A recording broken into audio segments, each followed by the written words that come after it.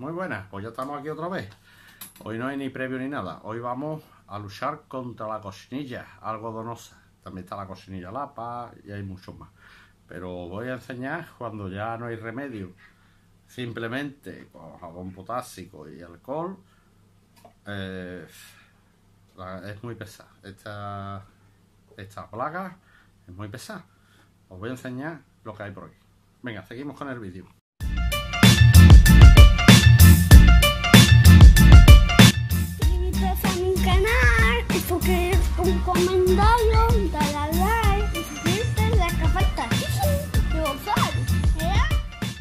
Bueno, pues ya estamos aquí otra vez. Mira, tenemos unos sistémicos que van muy bien hasta que dejan de ir.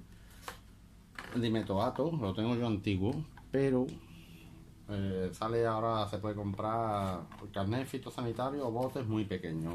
Es muy selectivo, ya no se vende tan fácil. Y este es el nuevo formato que trae ahora la Zetamiprin, que también va muy bien. Sobre todo eh, para la cochinilla, para otros también. Este es el formato que traía antes, de Masón, pero es el mismo. Zetamiprin 5%. Este va muy bien porque lo he tenido que comprar nuevo. Además vale más barato este que este. Y esto tiene duración solamente un mes, ¿vale? Es decir, que tres semanas o cuatro semanas de prevención, a las cuatro semanas vienen a atacar. La cochinilla lleva un momento de que, aunque tú lo trates con dimetoato, las primeras las mata, pero como queden vivas o vengan, se alimentan y al final terminan alimentándose el mismo producto. Tenemos que ir cambiando de uno a otro. Cuando ya llegas a un límite que ya has cambiado los dos y has tratado varias veces los dos, pero la cochinilla no desaparece, ni con el jabón potásico, porque el jabón potásico mata por contacto, pero como se quedan en los recovecos y si tienes muchos árboles, muchas plantas, después vuelven a caer, no crea el veneno, el sistémico sí, eh, pero este no. Eh, este, si tienes dos o tres, puedes tratarlo perfectamente con esto, un bastoncillo con alcohol, también. Lo suyo es diluir el alcohol, la mitad 50% de alcohol y 50% de agua y un bastoncillo con alcohol y dándole los puntos. Cuando tienes una cantidad de árboles inmensa, pues esto sería cuando empiezas por el primero, terminar por el último, y cuando llegue al último ya tienes cochinilla otra vez el primero.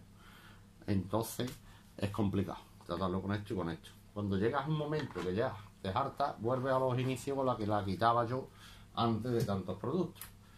Es decir, con un producto anticochinilla, que esto era piriprosifen, no sé si me equivoco, o es el nombre ese. A ver, a ver cómo era. Piriprosifen, efectivamente. Piriprosifen, que esto apecha tela. La cantidad, o según la recomendada, en este caso es 0,5 mililitros por, cada 2 litros. 0,25. 0,25 mililitros, muy poquito, muy poquito. Trae 10 mililitros, pero muy poquito. Pero como actúa bien en el pulverizador mezclándolo con aceite, o tanto de NEN, o tanto de parafina como este, que este es aceite de verano y aceite de invierno. Normalmente el otro es más, es más ecológico que este, pero funciona. Lo que utilizan es de mojante para que el producto se mantenga más tiempo en la hoja. ¿vale? Eh, este también se utiliza a veces de mojante, el jabón, pero no va bien siempre con todos los productos que se le agregan, ¿vale?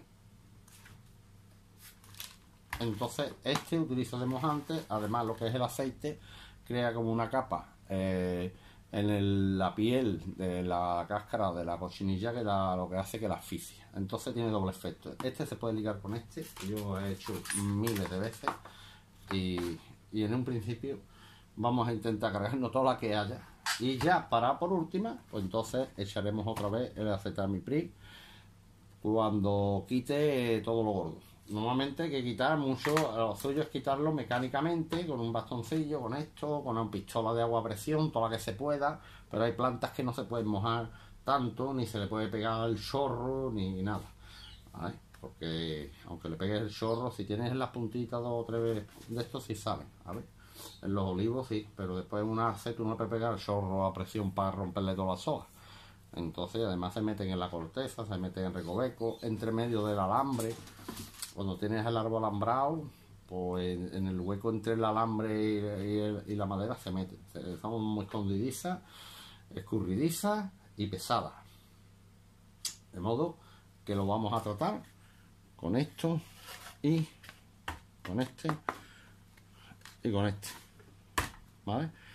Eh, Yo sí que tengo productos. Algunos me dicen, eres el Leroy Merlin. No, este ya no lo venden ni en el Leroy Merlin. Pero que son productos que podéis utilizar vosotros porque no son de uso simplemente de fitosanitario, de, de. Y yo los utilizo perfectamente. ¿Por qué tengo tanto? Porque cuando llega un momento unos no me sirve. Y como tengo que cambiar, pues tengo que cambiar. Porque si no se acostumbra. Yo cambio en sistémico, utilizo estos dos. Dimetoato y acetamiprid.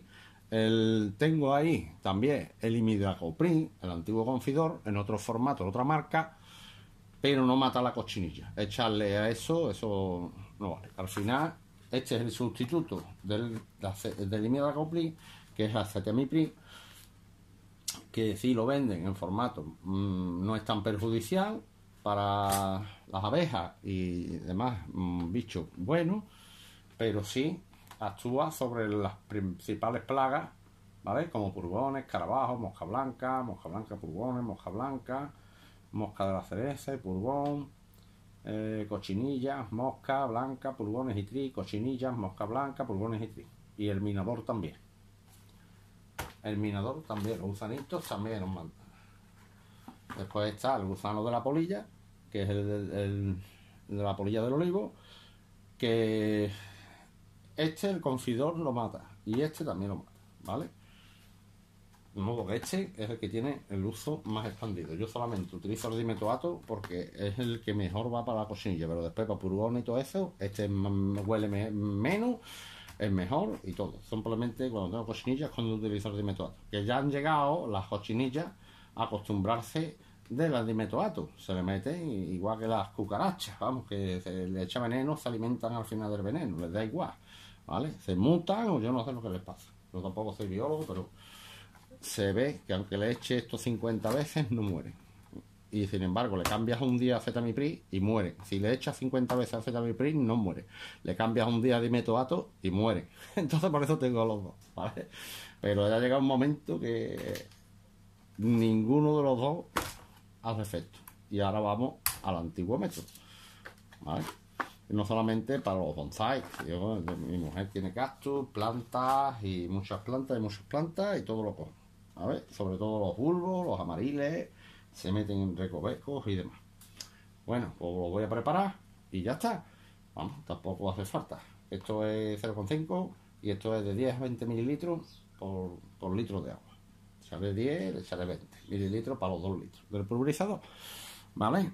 Venga, pues nada, un saludo. Ya tenemos el primer curso completo con cuatro nuevos alumnos de los cursos online. ¿Vale? Venga, pues nada, un saludo y hasta el siguiente vídeo. A matar bicho.